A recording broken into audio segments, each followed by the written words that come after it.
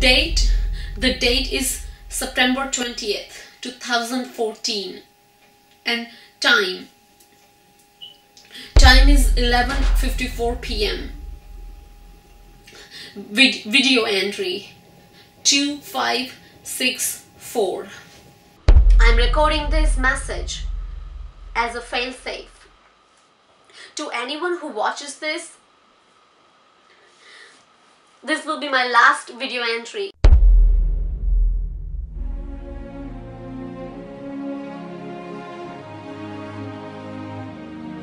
What if there was a world parallel to this one? And all that separates us from them is a veil. A veil so strong that nothing can pass between them. What happens when that veil begins to break and beings from the other world try to cross over? The good, the bad, the evil. We'll kill you. the creatures that will come they are nothing like what is described in the books The old man has Sankara. Have you heard of it? Silly me, of course you have. It is Dragon's Breath after all. veil has broken. The convergence has begun. The two worlds will collide. And when that happens only one will remain.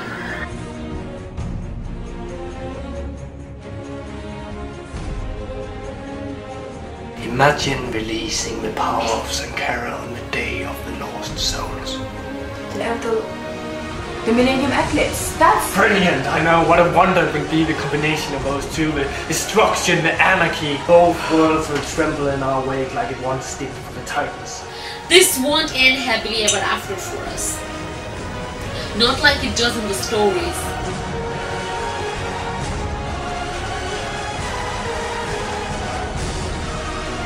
Forget what did to you, to me, to our family. Do you not want your revenge? Of course I want my revenge!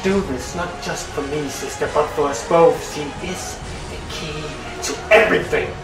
my name is jessica archibald and i'm about to tell you the truth Everything you ever thought you knew is about to change.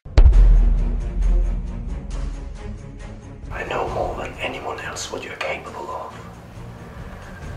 I know about your other means to awaken her.